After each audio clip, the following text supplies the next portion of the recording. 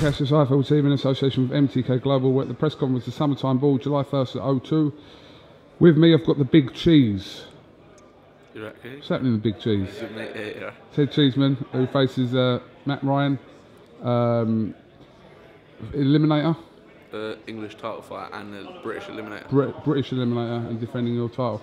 Um, yeah, what sort of uh, test is Matt Ryan going to provide for you? We know he had a good win over Sonny Upton uh, in his last but one fight. Yeah, um, it, it'd be a good test. Um, I'm pushing on each fight. Um, the last three fights have all been like near enough nigh on unbeaten or only one loss out of a load of fights. So um, it's like my I'm stepping up, stepping up now. Hopefully now once I box Matthew Ryan, as long as I perform and beat him, get the title underneath my belt, I'm gonna start pushing on to big things.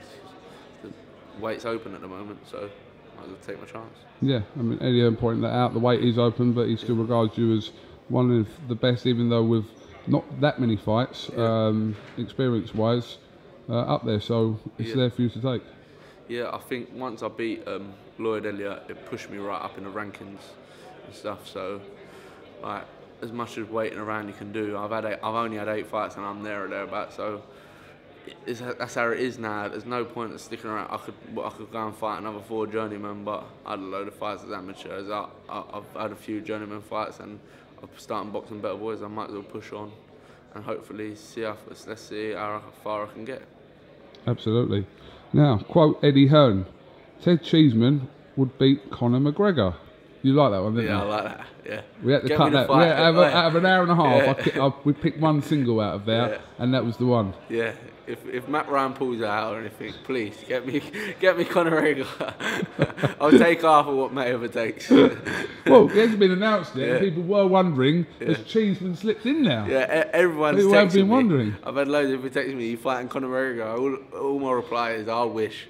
You know what I mean? get me the biggest payday I'll ever get out of boxing, I reckon. So, Well, listen, Eddie Hearn's a good talker, and listen, he had a point in what in, in a few of the things he was saying regarding yeah. Mayweather and, and Conor McGregor and the level that Conor McGregor is going into boxing in.